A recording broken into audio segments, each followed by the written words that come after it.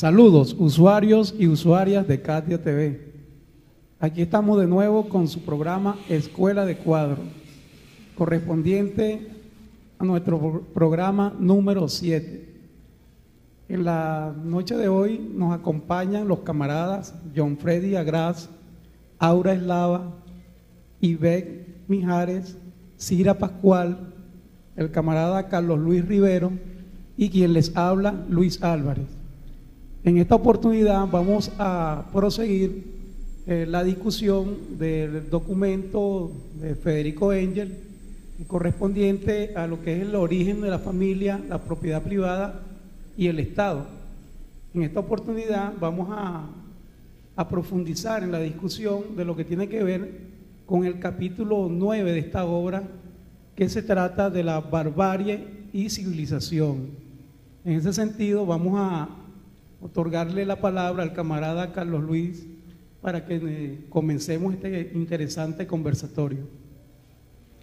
Bueno, muchas gracias. Eh, efectivamente, como decíamos, dijimos en, en, el programa anterior, este es un texto escrito por Federico Engel en 1884, eh, posterior a la muerte de Carlos Mar. Esto es importante tenerlo presente por cuanto las obras de estos dos autores, tanto de Carlos Mar y Federico Engel, es importante estudiarlo de acuerdo a la época también en la cual ellos la escribieron. Este capítulo que vamos a ver hoy, que es Barbarie y Civilización, de alguna manera es la síntesis del texto del origen de la familia, la propiedad privada y el Estado. Es, digamos, la médula de lo que aquí en este texto se quiere, eh, quiere plantear Federico Engel, y efectivamente plantea Federico Engel plantea el tránsito de la, humanidad desde el salvajismo, eh, pasando por la barbarie, llegando a la civilización. Digamos que en las sociedades muy antiguas, en las sociedades en donde los seres humanos vivían en contacto permanente con la naturaleza, en esas eh, sociedades conocida en los textos marxistas como la sociedad primitiva, eh, prevalecía eh, relaciones de igualdad y de justicia. Digamos, la propiedad era social, eh, los hombres y mujeres concurrían a producir para, para satisfacer, a interactuar con la naturaleza, para satisfacer las necesidades humanas. Todavía no había aparecido para ese entonces eh, el intercambio en forma significativa, no existía el Estado, existía eh, las tribus, eh, la gen y sobre todo existía un régimen gentilicio que era abordado por la propia sociedad, por la propia sociedad primitiva de esos momentos. decimos esto por cuanto eh, vamos a partir, de, a partir de, ese, de ese momento de la humanidad al momento actual y que es lo que trata de recrear Federico Engel en el texto, de, en este capítulo del texto sobre el origen de la familia, la propiedad privada y el Estado. Este régimen gentilicio es una fase previa a la existencia del Estado. Para ese momento no existía el Estado.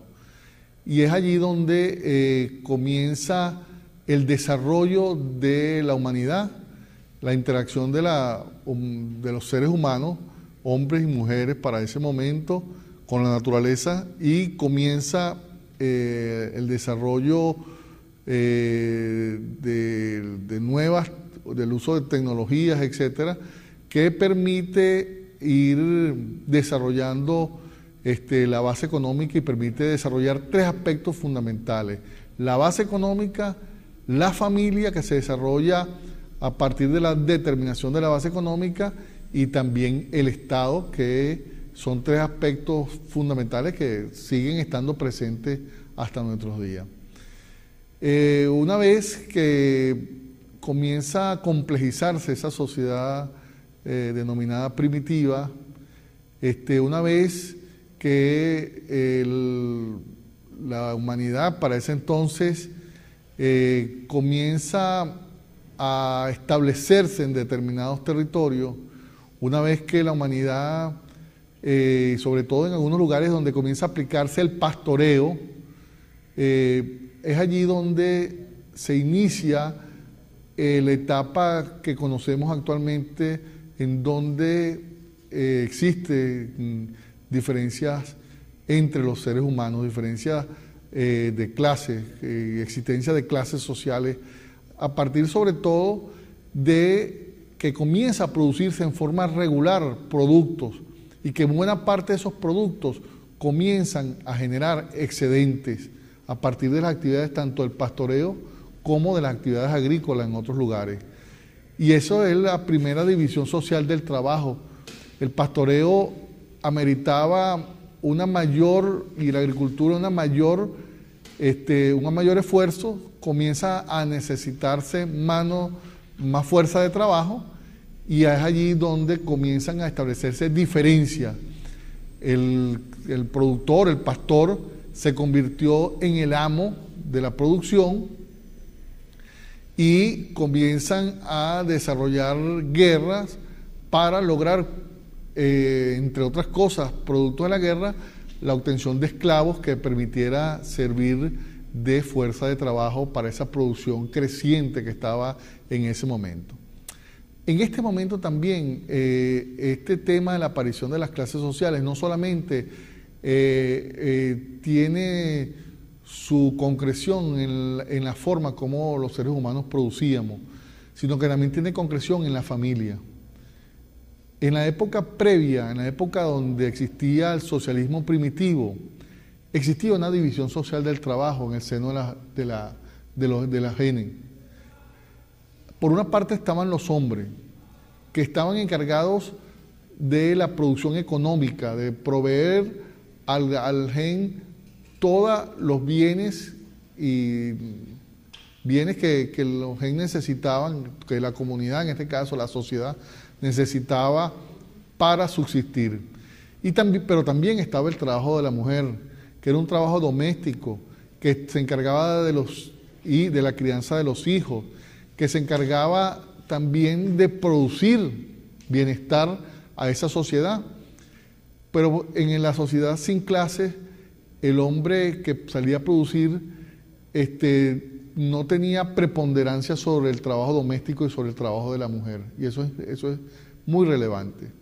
La aparición de las clases sociales este, le da poder al hombre Incluso a partir de allí, con la aparición de las clases sociales, podemos decir que nace el patriarcado, este, porque el hombre este, se hace predominante no solamente en la producción económica, sino también en la, en la producción doméstica, en el hogar, en la familia, en, esa familia que no es la familia monogámica que estamos nosotros ahora acostumbrados a ver, sino una eh, son eh, formas de eh, concreción de la familia pero que aún así el hombre tenía en etapas previas la misma preponderancia que la mujer, sin embargo, con la aparición de las clases sociales también se pierde esa igualdad de género entre el hombre y la mujer y pasa a ser el hombre el, elemento fundamental de dominación y la familia de alguna manera expresión también de la dominación de la sociedad.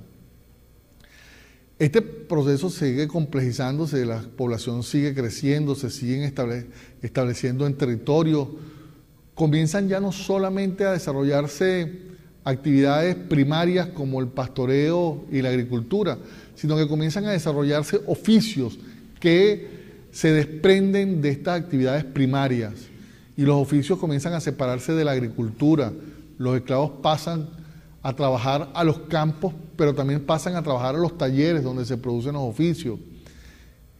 Es, eh, aparece por primera vez eh, una mercancía eh, llamada dinero, en donde se daba sobre la base del reconocimiento de los metales preciosos como forma de intercambio Aquí ya hay una ruptura con todo el orden previo y anterior y es lo que hoy conocemos como dinero, con todas las embates y todas las em, consecuencias que esto ha traído a la, humanidad, ¿no? con consecuencias fundamentalmente negativas. ¿no? Este, mm, debemos decir también que el suelo, que era propiedad de todos, pasa a ser propiedad particular. O sea que también aparece con nacimiento de la primera, de la primera división, de la primera este, eh, división social del trabajo y con la aparición de las clases sociales, aparece también la propiedad, el concepto de propiedad individual, de propiedad privada. O sea que lo que me pertenece a mí no le pertenece a otros, frente a las sociedades previas, la sociedad primitiva, del socialismo primitivo, donde todo pertenece a todas las cosas. Pasamos también del matrimonio sindiásmico que vimos en el capítulo anterior a la, monogamia, a la monogamia. Y también en esta segunda división social del trabajo eh, se genera de alguna manera eh, el concepto de herencia. O sea, los jefes militares victoriosos estaban en posibilidades de que sus descendientes directos, garantizados por la vía de la monogamia, este, pudieran heredar tanto los títulos que obtenían de la guerra como las riquezas que se desprendían de esas victorias que obtenían. Y por otro lado aparece otro concepto importante en esta segunda división social del trabajo. Anteriormente íbamos a la producción, íbamos a la naturaleza a producir bienes para satisfacer necesidades. Ahora producimos bienes para el intercambio, o sea, para el comercio. Todavía incipiente, se comerciaba entre las comunidades más, mm, más cercanas, pero en esta etapa, donde aparece esta segunda división social del trabajo, ya comienza a generarse y a, producirse bienes, mercancías, que lo trabaja Marx también en el Capital, en el, en en el tomo 1 del Capital, comienza a trabajar el término de mercancía y la mercancía ya no para satisfacer necesidades específicas de alguien, sino para eh, generar excedentes y acumular. Ya se fabricaba para ir más allá que la satisfacción de las necesidades humanas de ese momento. Este proceso se complejiza y aparecen entonces este, la necesidad de que el comercio y el intercambio ya no se haga con las comunidades inmediatas, sino que se realice con comunidades que estaban muy lejanas de allí y surge un sector social que no producía absolutamente nada, pero que se encargaba de comerciar, de generar el intercambio. Engel eh, eh, lo nombra como los mercaderes, aparecen los mercaderes, que todavía nuestra economía venezolana es fundamentalmente una economía de mercaderes, donde buena parte de lo que es los de los sectores de la oligarquía, tanto en la economía cafetalera y cacaotera del siglo XIX como la economía petrolera, lo que se han encargado es de mercadear, no se produce, nuestra oligarquía no produce nada, o sea, es una, una oligarquía, una burguesía parasitaria. Igualmente estos mercaderes eran parasitarios, no producían nada, pero en su afán de intermediar y de comerciar, logran eh, un proceso mucho más rápido de acumulación. Y es allí donde los mercaderes se colocan por encima de los productores desde el punto de vista económico. En esta fase, en esta del, desarrollo de la humanidad, aparece ya el dinero metálico, también a partir de, de metales preciosos que eran reconocidos. Incluso aquí Engel habla del peso, y resulta que el peso era porque de alguna manera nuestras monedas, muchas monedas de nuestros países hermanos se llaman peso, era porque previamente a todos se, se tomaba el peso de lo, que, de lo que pesaba de alguna manera el oro o la plata, que eran básicamente las mercancías de intercambio, y posteriormente ya en esta etapa se acuña esa, esa, mm, esos metales preciosos en moneda y todas las mercancías comienzan a supeditarse a la existencia o no de moneda.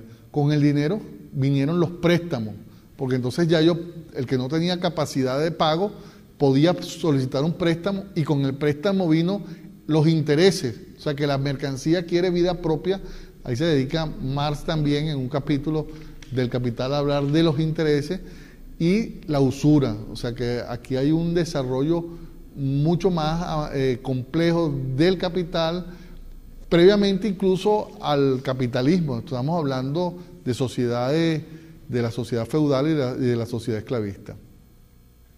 Junto a todo este proceso, en esta tercera división social del trabajo, surge la riqueza de mercancías y de esclavos. La gente se contaba por la cantidad de mercancías que tenía o por la cantidad de esclavos que tenía.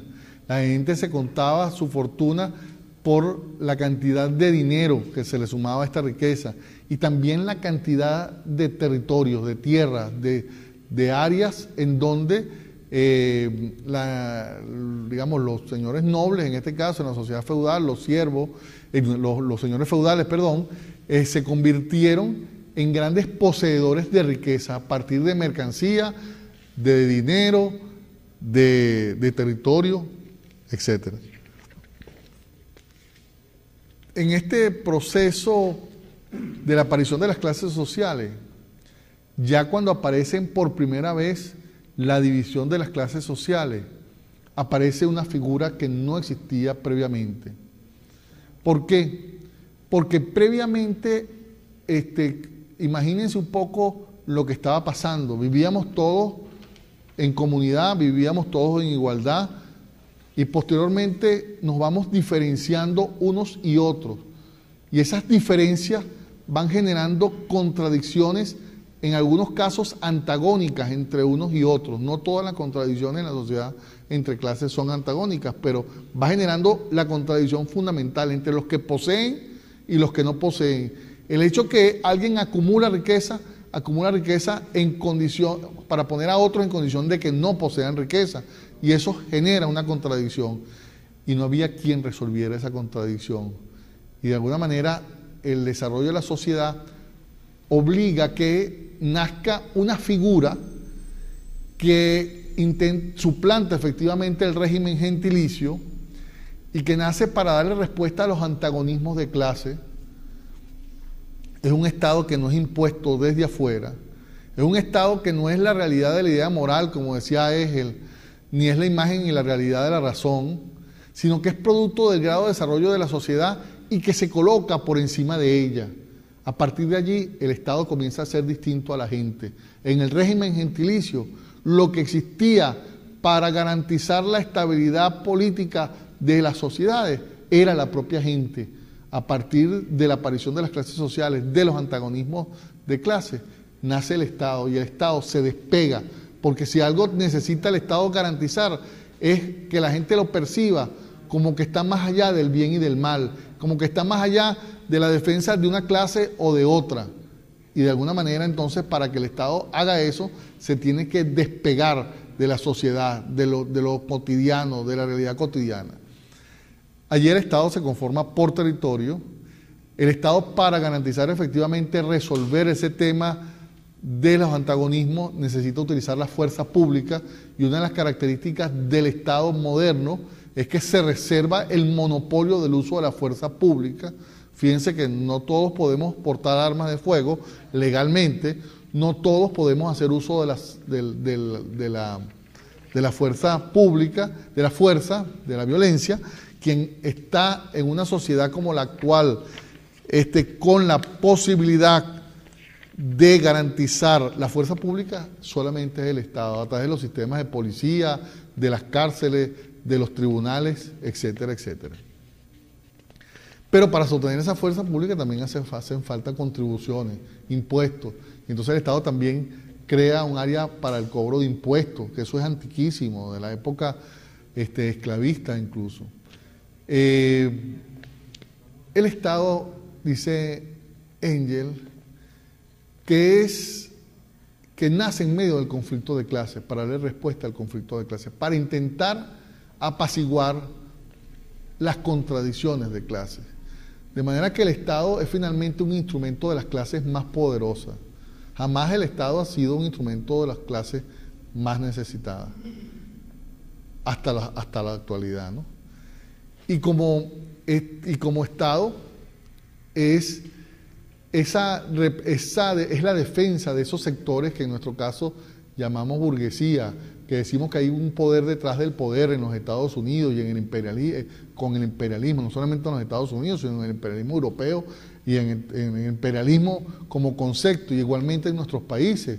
Ha existido un poder detrás del poder, solo que ese poder nunca se hace evidente. Digamos, el transcurso del desarrollo, de la complejidad de la sociedad, nos lleva a pensar que, a, ver al Estado como que si fuera un Estado de igualdad.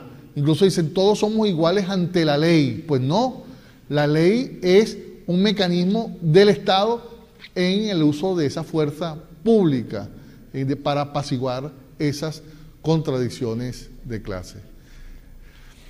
Finalmente, este, el tema de la civilización. Yo creo que es importante tocar el tema de la, de la civilización, que es esa etapa posterior a la barbarie, de acuerdo a Engel. En la civilización, por supuesto, el dinero se convierte en el sentido esencial de la base económica y de la acumulación. La gente no, acumula tanto en territorio, ni acumula tanto en esclavos o en, o en, en, reses o en ganado, acumula sobre todo en dinero. Y el interés y la usura este, como parte del, uso del dinero. La existencia de los mercaderes como clase intermediaria en el proceso de la civilización, en, en la etapa llamada civilización, eh, la existencia de la propiedad privada de la tierra y de la hipoteca. Anteriormente no había necesidad de hipotecar nada porque nadie era dueño de nada. Éramos todos dueños de todo. La tierra era de quien la trabajaba. Este, eh, también asistimos en la etapa de la civilización a la existencia de la monogamía como forma predominante en la familia. es la garantía de que el padre pueda garantizar la fidelidad de que esos hijos son de él, la monogamía no es otra explicación y además de garantizar la herencia de los bienes que cada uno de los hombres en el patriarcado puede acumular. Y la otra característica es la posición entre la ciudad y el campo. Por un lado, vemos sistemas políticos en donde la ciudad domina el campo y en otros momentos vemos sistemas políticos donde el campo domina a la ciudad. Digamos, estas son las cinco características básicas del proceso civilizatorio. Ok, vamos a un corte, eh, pero quizás cuando volvamos al corte sería bueno hablar de la cuestión de, del Estado aquí en Venezuela y, las clases, que la relación entre el Estado y la opresión de una clase o de otra, eh, la dominación de clases. Okay.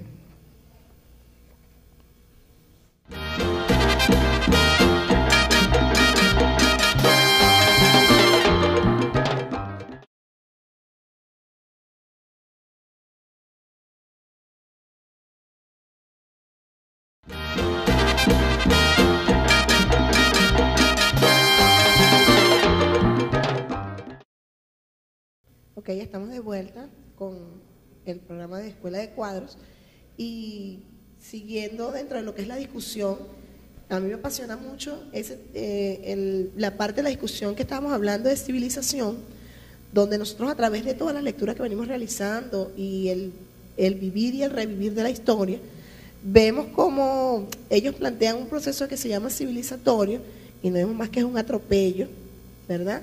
A un, a un proceso que debía haber sido, este, o no debe haber sido irrumpido de la forma en que se hizo.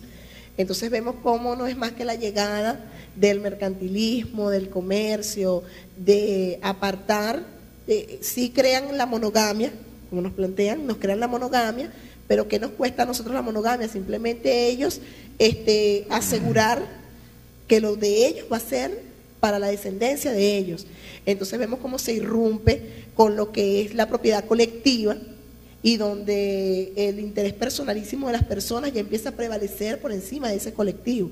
Entonces yo creo que esa discusión sobre lo que es el proceso civilizatorio y llevarlo a la realidad que estamos viviendo nosotros en el país es bien importante, porque nosotros debemos plantearnos desde qué punto de vista, desde qué énfasis se está haciendo el proceso que estamos viviendo nosotros de transformación de una sociedad y cómo vemos afectado ese proceso en función de esa, de esa época. Yo pienso que la historia siempre se repite en, diferentes formas en diferentes espacios y con culturas por supuesto que diferentes, pero siempre está ahí latente. Y yo pienso que ese es un tema que siempre debemos llevarlo a la discusión, porque a mí me parece que eso fue simplemente un proceso de irrupción. Irrupción, un proceso que no se debe haber cortado en la forma en que se hizo. Y bueno, dentro del planteamiento del Estado, vamos a darle la palabra a los compañeros, que también tengo que hacerle unas, unas acotaciones. Sí, no, lo que iba a comentar era que ahí hay tres conceptos que, se, que trabaja Angel, pero que tienen que ver sobre todo con las fuentes con las cuales trabaja, que es el concepto de es, cómo se divide la historia, ¿no? Entonces se divide en salvajismo, barbarie y civilización, pero que son conceptos que vienen sobre todo de los estudios de Morgan, para ese entonces, estamos hablando siglo XIX.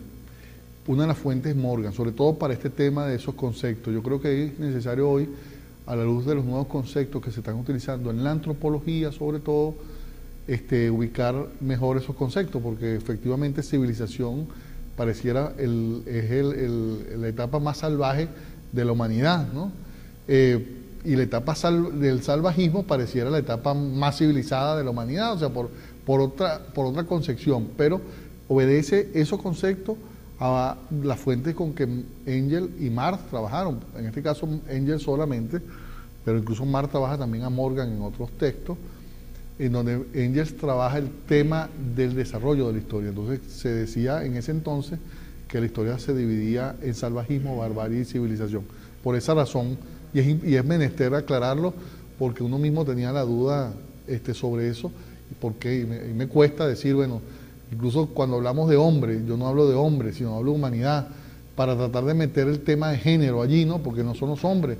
Aunque siempre Marx utilizó el concepto hombre como el hombre social, como sujeto social, el hombre como sujeto social, no el hombre masculino.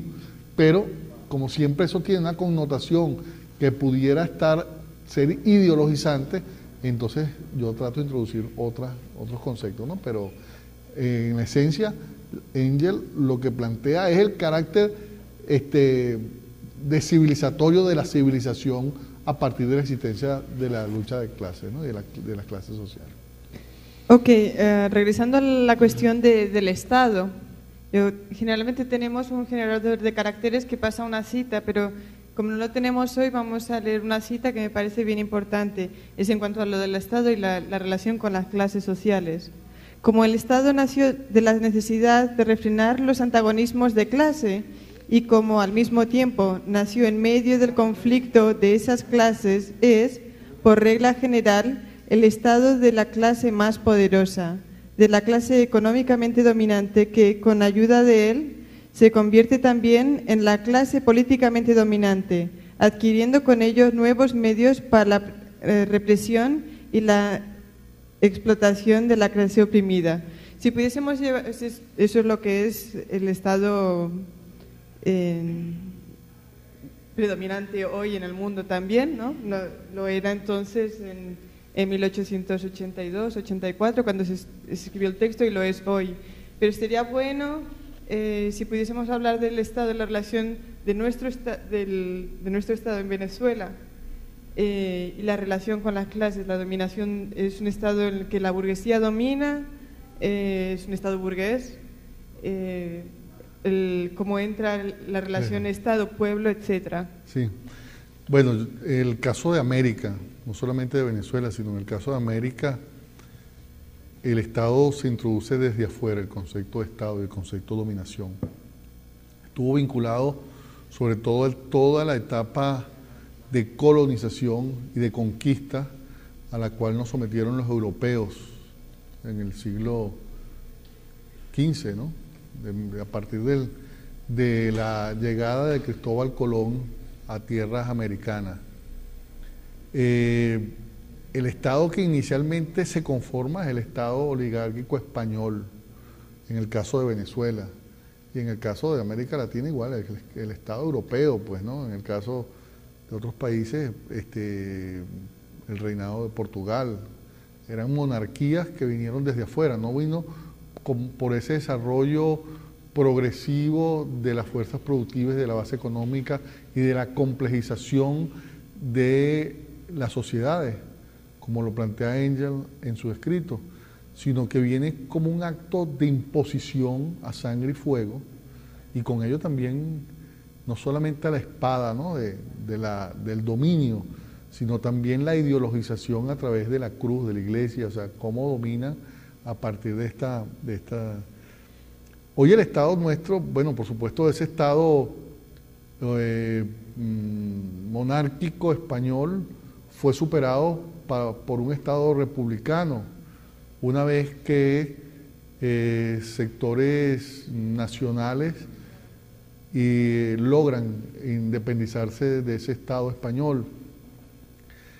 Y, ese Estado ha venido adquiriendo distintos desarrollos. Nuestro Estado en el siglo XIX fue un Estado em, donde eh, prevalecía la defensa de los intereses de los productores tanto de café y cacao, y sobre todo en, el, y todavía en el siglo XX vemos cómo la presencia de productores de café sobre todo, o sea, son los presidentes de buena parte, incluso del Táchira, muchos vienen del Táchira, ¿no?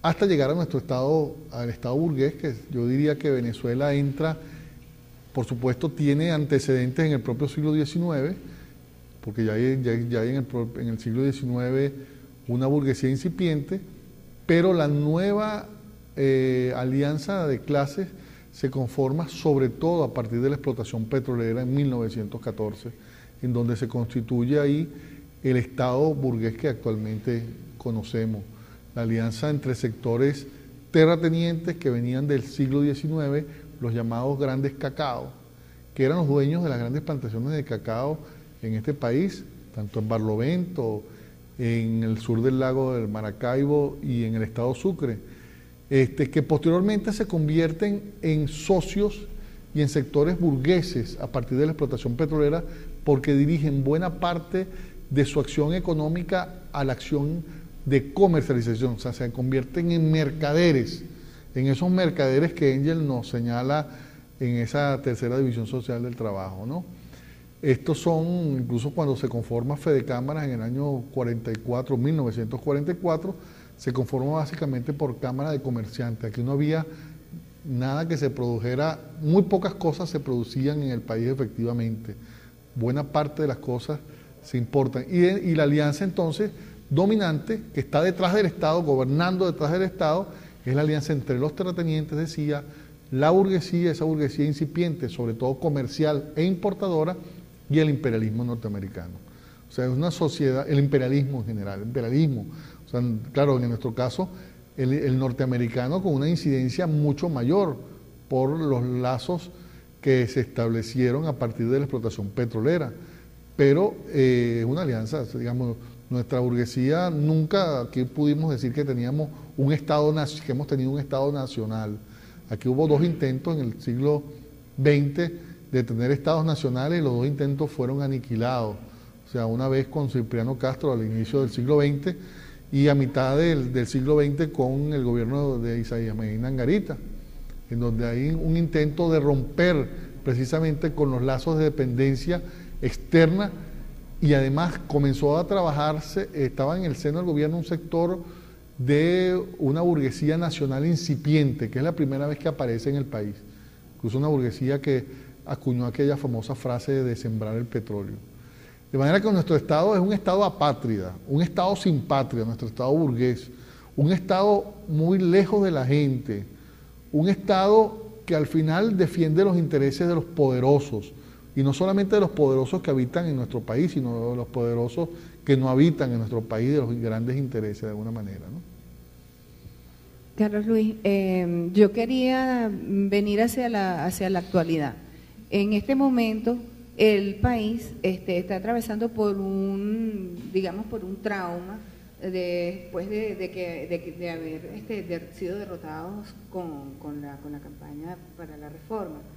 Eh, entonces quería eh, recordarnos a nosotros mismos que este, nosotros al principio, pues en, en las repúblicas anteriores, cuando teníamos los otros presidentes que eran más, más dados hacia la, la parte presidencialista y menos popular.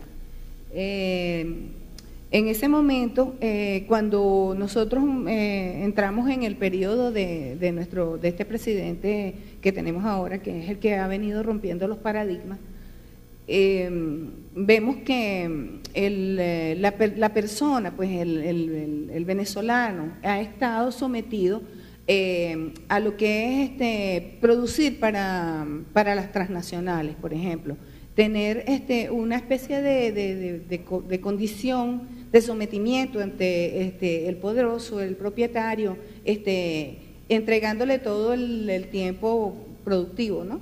Eh, cosa que aquí, a partir de que eh, comienza este proceso bolivariano, el, el, obrero empieza a tener este, incidencias en, cómo se maneja la empresa, eh, entrando a realizar contraloría interna, hacer una introspección de que él tiene que también tomar las riendas de lo que está pasando en su entorno, no solamente dirigirse a ayudar a que este, estos grandes cacaos, como diríamos, tuvieran este, una gran riqueza. Bueno, efectivamente, yo diría que si algo tenía la reforma era que iniciaba la transición hacia la construcción de un Estado distinto al Estado que ha existido aquí a partir de la llegada de los españoles.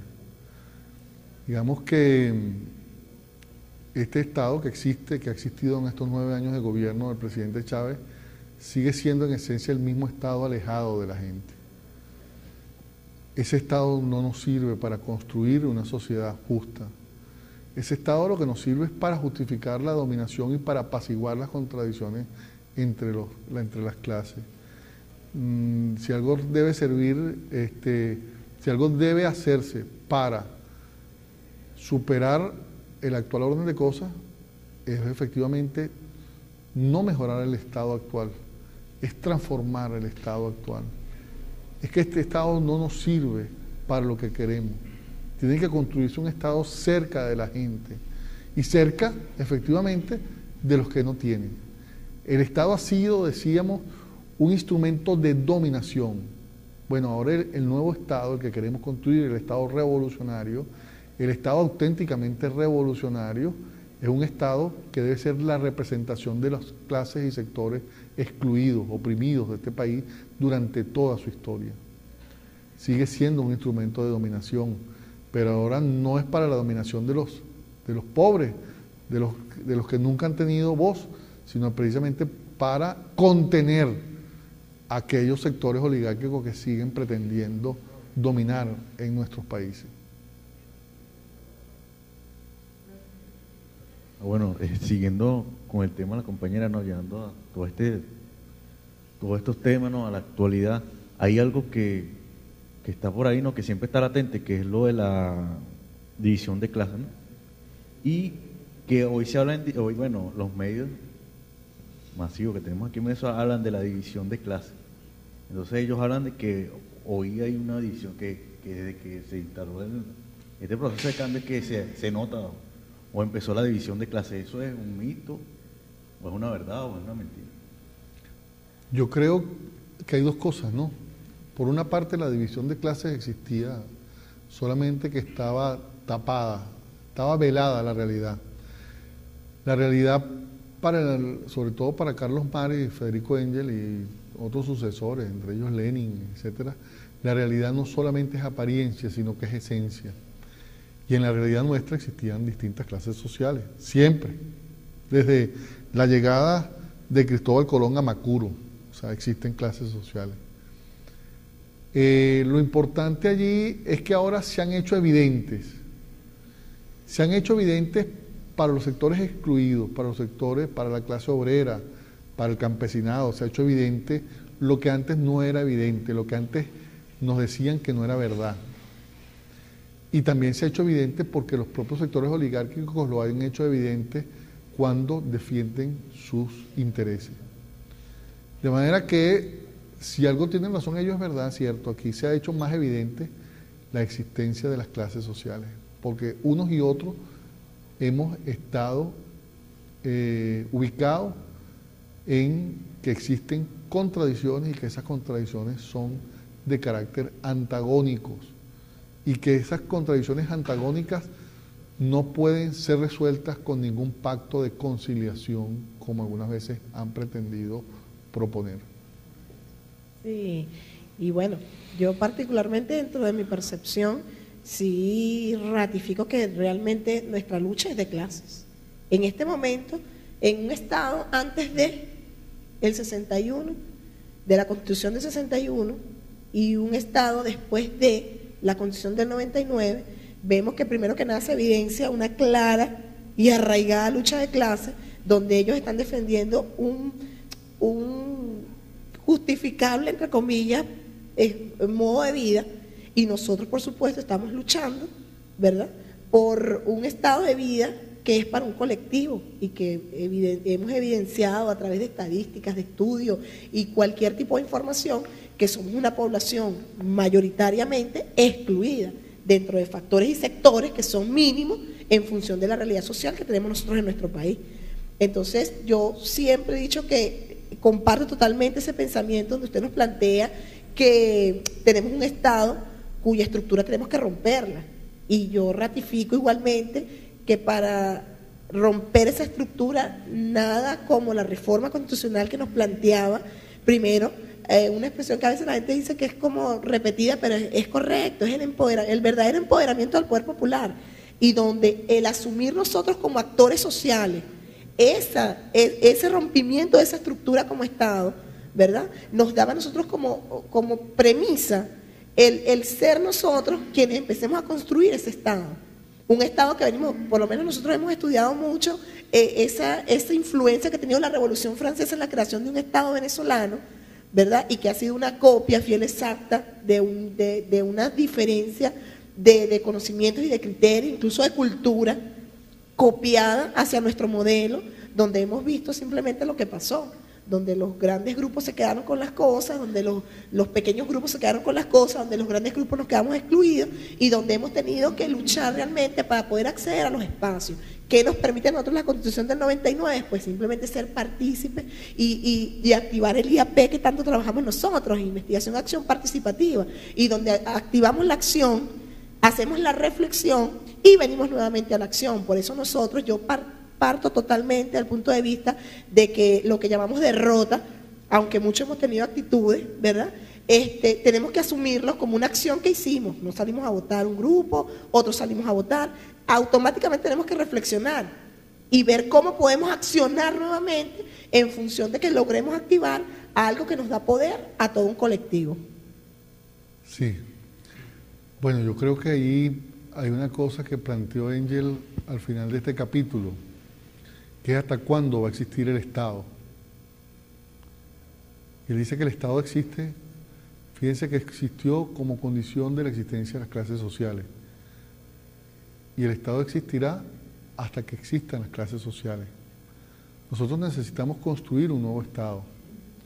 Y digamos que hay dos procesos de transición.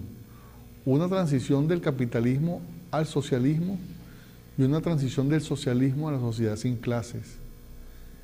Y en toda esta transición va a existir un Estado. Solamente que ese Estado va a estar mucho más cerca de la gente y cada vez más cerca de la gente, de los intereses de la gente. Y la gente va a tener menos diferencias desde el punto de vista económico entre sí. No porque nosotros estemos envidiando el nivel de vida de los ricos, no. Lo que, lo que, lo que sucede es que los ricos, para que sean ricos, tienen que despojarnos a nosotros, ¿verdad? Del valor que genera nuestro trabajo. Y esa condición es la que nos coloca desde el punto de vista social, político, ideológico, enfrentados a esas clases dominantes, porque ellas detentan el poder, porque detentar el poder significa explotar al resto. Y es una gran diferencia entre lo que hoy es la derecha y la izquierda. Frei Beto decía hace unos días en un escrito por qué él se consideraba de izquierda. Decía que el de, derecha considera que la pobreza es un hecho natural, por lo tanto los ricos también es un hecho natural. Y nos diferencia de la izquierda porque la izquierda consideramos que es un acto de injusticia. Fíjense de dónde parte Frei Beto, este cura brasileño, sobre este tema tan importante que plantea Angel en este libro. De manera que nuestro Estado tiene que ser un Estado no para oprimir en la misma forma que oprimía el Estado burgués y todos los estados oligárquicos anterior, sino para efectivamente ir en búsqueda de la igualdad y la justicia.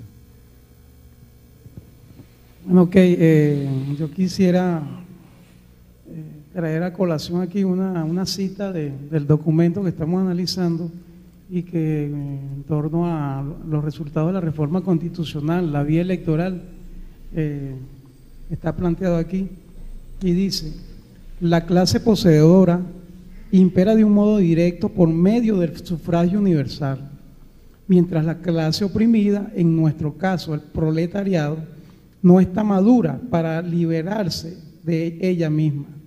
Su mayoría reconoce el orden social de hoy como el único posible y políticamente forma la cola de la clase capitalista, su extrema izquierda. Pero a medida que va madurando para emanciparse, ella misma se constituye como un partido independiente, elige sus propios representantes y no los de los capitalistas. El sufragio universal es de suerte el índice de la madurez de la clase obrera. O sea que habría que revisar hasta qué punto eh, el sufragio universal este que, pregona tanto el Estado burgués eh, nos va a servir a la, clase oprimida, al, proletariado, como una vía cierta para, nuestra emancipación definitiva de, este, de este estado opresor que históricamente hemos tenido. Y con esta cita eh, llegamos al final de nuestro programa Escuela de Cuadros. Agradecemos a los camaradas por, por su participación y agradecemos enormemente a Katia TV, al personal técnico. En esta noche nos acompañaron en las cámaras eh, los camaradas Jimber, Peña, el camarada Giancarlo Corrales y tuvimos bajo la dirección del camarada Manuel Río, eh, reiterándole que nuestro programa Escuela de Cuadros será transmitido eh, todos los días jueves y sábado a las 8 de la noche. Hasta la victoria siempre, camaradas, y la invitación reiterada que siempre hacemos es a seguir profundizando en el debate. Hoy eh, debatimos en torno a lo que a, esa, a, esa, a ese mito, a ese ícono que, en que se ha convertido el Estado. Y bueno, camarada, el, llamado es a seguir luchando, a seguir consolidando las organizaciones populares, porque este Estado, como usted lo decía, camarada, no nos sirve. Y esa es una tarea inmediata del movimiento popular y del movimiento revolucionario. Hasta la victoria siempre. Venceremos.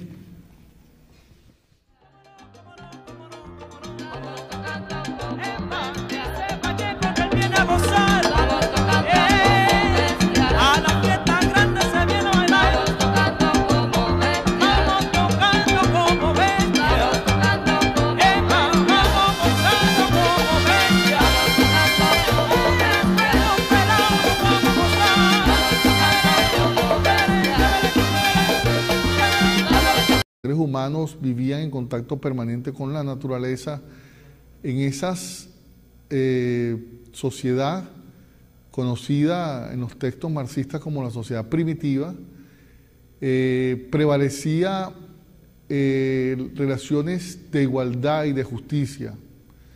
Digamos, la propiedad era social, los hombres y mujeres concurrían a producir para para satisfacer, a interactuar con la naturaleza, para satisfacer las necesidades humanas.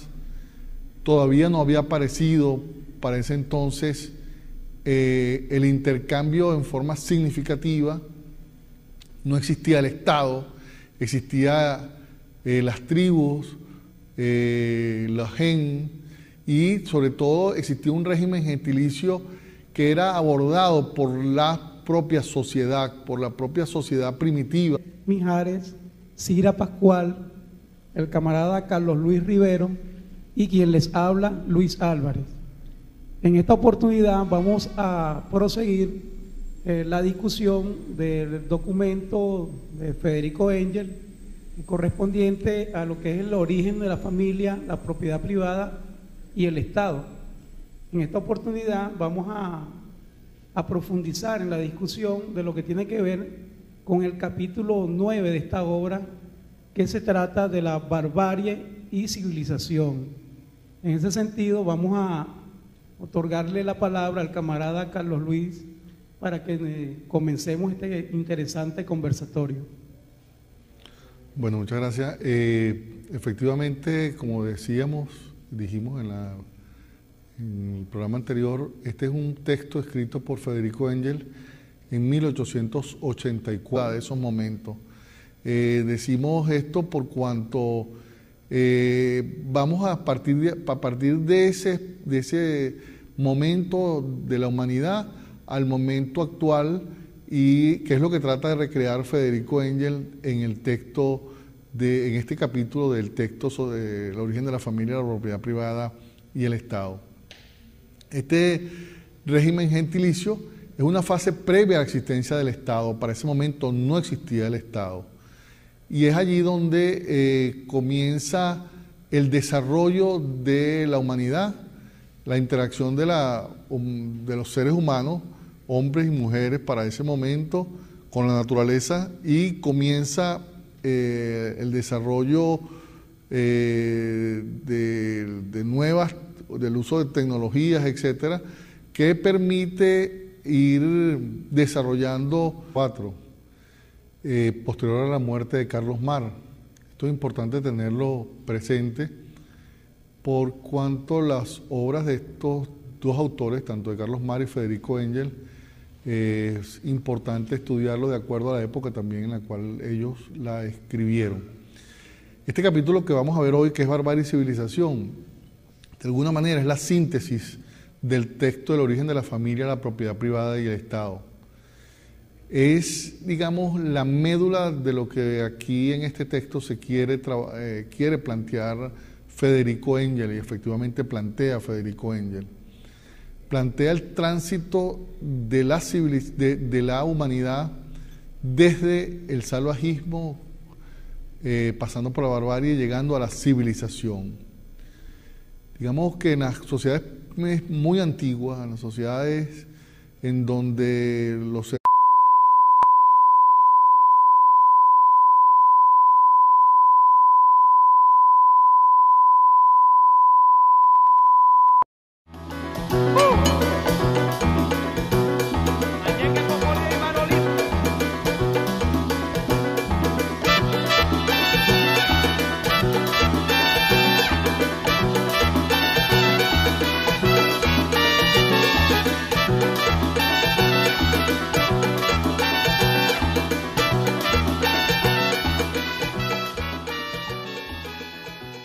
Saludos, usuarios y usuarias de Katia TV.